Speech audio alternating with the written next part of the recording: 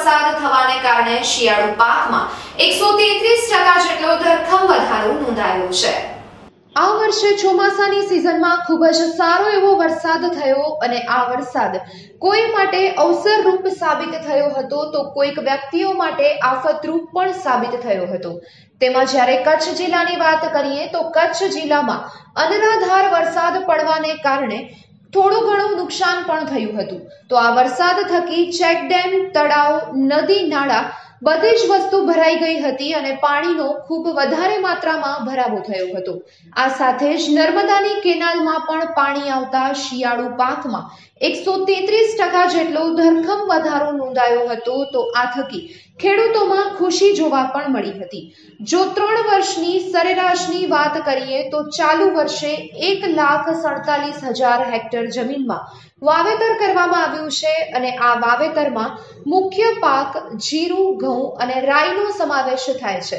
તો આ થકી કચ્છ જિલ્લાના ધરતીપુત્રોમાં ખુશીની લહેર જોવા મળી હતી તો આવનારા દિવસોમાં પણ આ જ રીતે ખૂબ જ સારો એવો પાક બરકરાર રહે તેવી પ્રાર્થના કરવામાં પણ આવી હતી.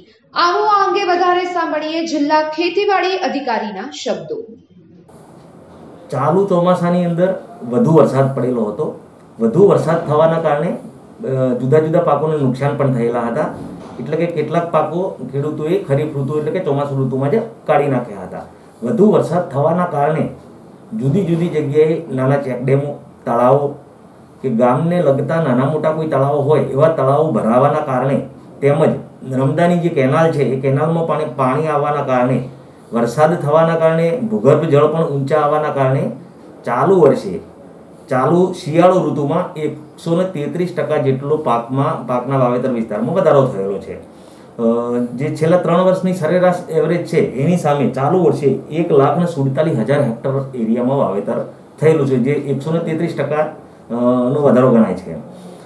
એમાં ખાસ કરીને જોઈએ તો જીરું, ઘઉં અને રાઈ આ પાકોનું વાવેતર મુખ્ય છે.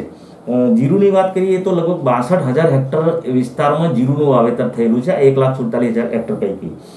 ઘઉંનું વાવેતર બેતાલીસ બત્રીસ હજાર ચારસો સાડત્રીસ હેક્ટરમાં થયેલું છે. ઘાસચારાનું પણ સત્યાવીસ હજાર હેક્ટર જેટલો વિસ્તાર વાવેતર હેઠળ આવેલો છે. આ સિવાયના જે પાકો છે શાકભાજી છે ઈસબગુલ છે, એના પણ પાંચથી છ હજાર હેક્ટર જેટલા વિસ્તારમાં વાવેતર ચાલુ વર્ષે થયેલું છે. એ સિવાય ચણા, રાઈ, વરિયાળી ધાણા આવા નાના મોટા પાકોનું પણ સારા એવા પ્રમાણમાં સમગ્ર જિલ્લામાં વાવેતર થયેલ છે. ચાલુ વર્ષે જીરું ઘઉં અને ઘાસચારો આ પાકોનું વાવેતર ગયા વર્ષની સરખામણીમાં વધ્યું છે. વાવેતર વિસ્તાર વધ્યો છે. સાથે સાથે પૂરતા પાણીની પણ સગવડ છે. જે રીતે તળાવ ચેકડેમ અને નર્મદાના પાણી આવે છે તેમજ જે ભૂગર્ભ જળ છે એના કારણે શિયાળુ ઋતુમાં પાકોને પૂરતા પ્રમાણમાં પાણી મળી રહેવાની પૂરતી સંભાવના છે. એના લીધે પ્રતિ હેક્ટર ઉત્પાદન પણ ચાલુ વર્ષે ગયા વર્ષની સરખામણીમાં ઘણું બધું વધે એવી સંભાવના છે. હજુ સુધી અત્યારની જે પરિસ્થિતિ છે, તો કોઈપણ પાકની અંદર કોઈપણ પ્રકારની રોગ જીવાત અત્યારે જોવા મળેલ નથી. એટલે કે પાક પરિસ્થિતિ સમગ્ર જિલ્લામાં એકદમ સારી છે. એટલે ઉત્પાદન જે વાવેતર વિસ્તાર આપણે ગણીએ છીએ કે એકસો તેત્રીસ ટકાનો વધારો થયો છે. પણ અમારા અંદાજ મુજબ ઉત્પાદન તો એકસો ચાલીસથી એકસો પિસ્તાલીસ ટકા જેટલું વધશે. વાવેતર વિસ્તાર વધ્યો છે. સાથે સાથે ઉત્પાદન પણ વધ્યું છે. એટલે ખેડૂતોની આવકમાં સીધે સીધી રીતે વધારો થવાનો છે. સાથે સાથે એ પણ એક વાત કરવાની રહે કે આ વર્ષે જે રાઈ એટલે કે મસ્ટાર્ડ, એની મિનિમમ સપોર્ટ પ્રાઇસ એટલે કે ટેકાના ભાવે ખરીદી કરવાની પણ સરકારશ્રી દ્વારા સૂચના અપાઈ ગઈ છે.